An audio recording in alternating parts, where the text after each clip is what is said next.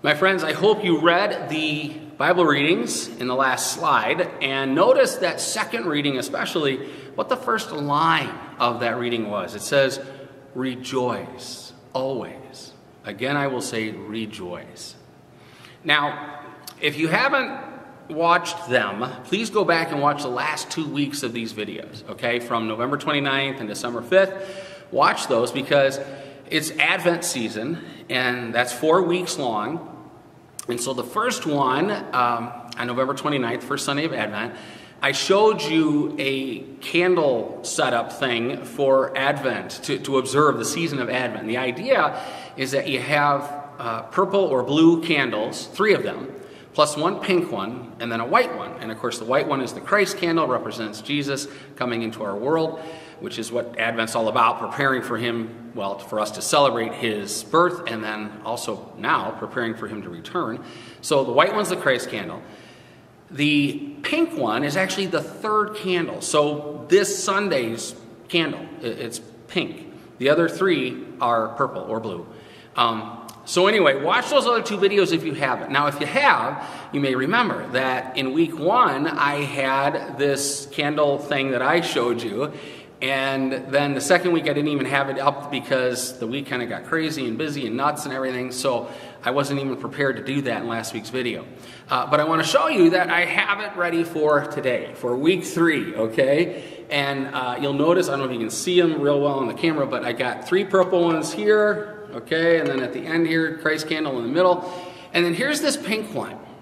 Now, I told you the first week in that video that I wasn't ready for Advent. I didn't have the candles. In fact, I what did I have? Like one candle that was it, and I don't think it was even the right color. I think it was just the white one or something.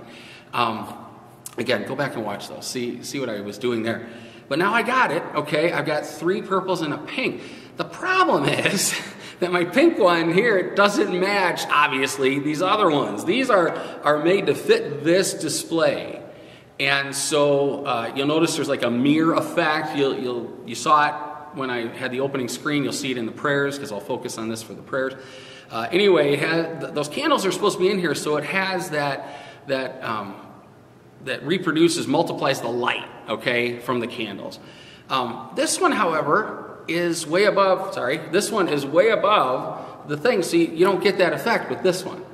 Um, the reason I have this big pink one here is that's the only size I could find. Yeah, I actually went out shopping this last week to get candles for this display, and I couldn't find a pink one in the votive size. So the only one I could find was this big, huge thing right here. And obviously, it's way above the rest of it. And I even had to, to put like some paper towels and stuff here to get it to stay in the stand because the base is thinner than the holder here.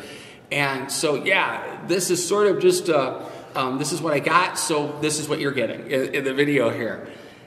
And um, on, the, on the one hand, I kind of am embarrassed that I don't have all my gear you know, together here for you for these videos.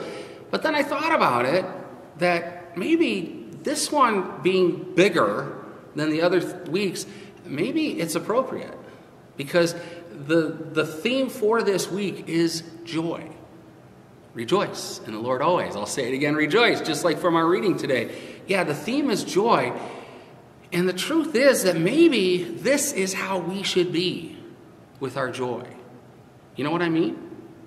That is, we should be living in such a way that people see in us the joy of salvation, the joy of the Lord.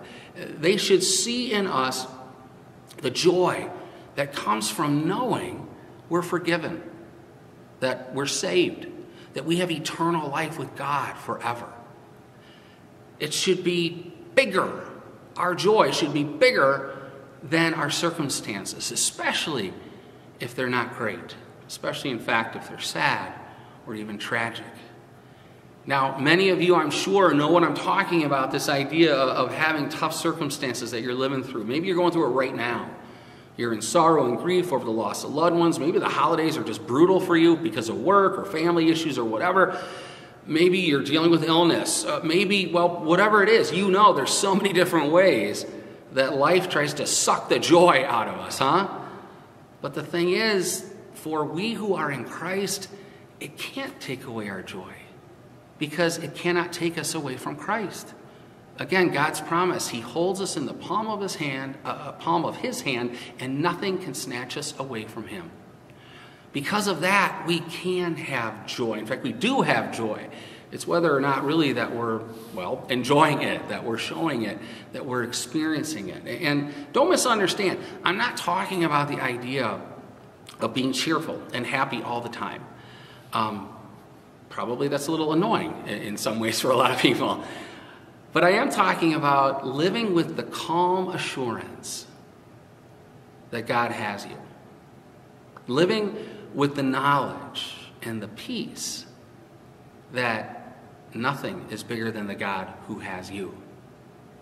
Living with the truth that even as we face the worst of circumstances, even in the face of death, we have the Lord of life, the Lord who conquered death. And because of that, we have joy in all things.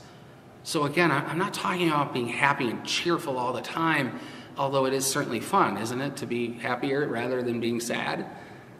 But I am talking about exhibiting the truth that the circumstances we deal with are not too big for our God. They might be too big for us, and really a lot of them are, but they're not too big for our God, the one who holds us in the palm of his hand, his loving hands. And because of that, we can exhibit the joy that Paul talks about. Paul, who's suffering through things and still says, rejoice always. Again, I say, rejoice. It seems almost impossible, it might even seem silly in the face of grief and sorrow and pain and suffering and illness and sadness and all the rest. It might seem silly to talk about joy, but for those of us who are in Christ, that is exactly the time to talk about joy, to experience joy. Because that, when we're at our worst, is when God's love comes through the most. That's when we can live in the knowledge that we're, we're His, and it's not going to change. That He loves us no matter what, and that we will be with Him forever because of what He has done. And that, my friends, brings us joy.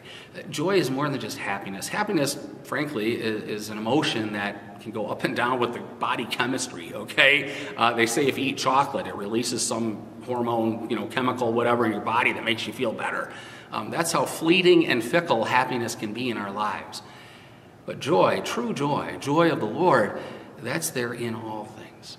It doesn't mean that we're doing cartwheels and, and uh, jumping up and down, dancing and happiness all the time, but it does mean that we know, even in the face of the worst of things, we have a God who loves us the most, bigger than anything this world can throw at us.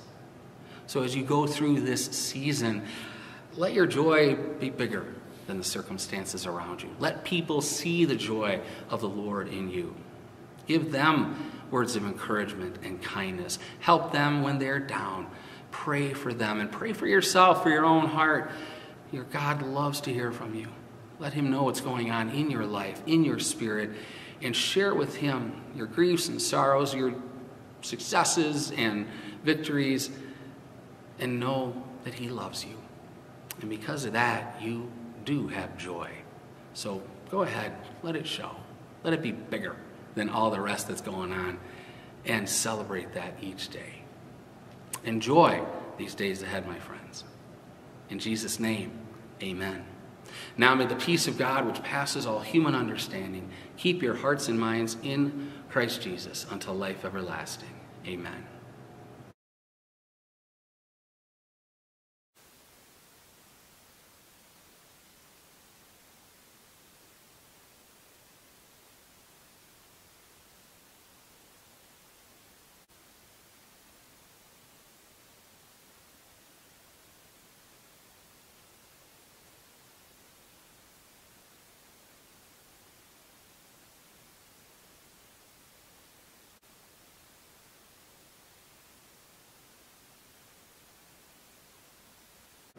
My friends, thank you so much for joining me for this time.